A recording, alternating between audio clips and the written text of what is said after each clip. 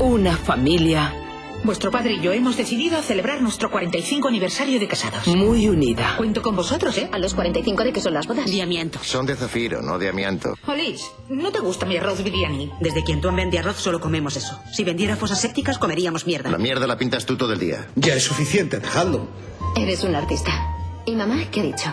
No es Van Gogh, ni mucho menos. Debería cortarse una oreja. A lo mejor eso le da talento. Y sin esa oreja no escucharía tus gilipolleces.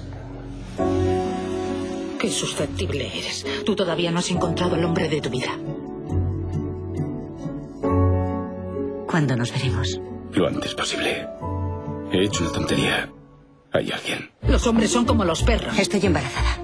Si quieres un compañero amable, cariñoso y al que le gusten los niños, te coges un labrador. Te quiero. Nunca un pitbull. Tu padre otra vez. ¿Qué querrá? Comida para perros. Mi mujer está embarazada. ¿Desde cuándo lo sabes? ¿Pensabas que tenía gases?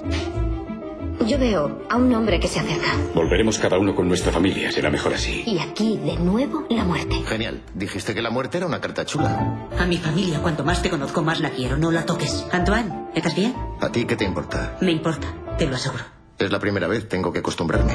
Lo que más me gusta de ti es tu sentido de la familia. Te quiero mucho, Alice. Pero yo no sé mostrarlo. Tengo algo que decirte. ¿Tienes gases?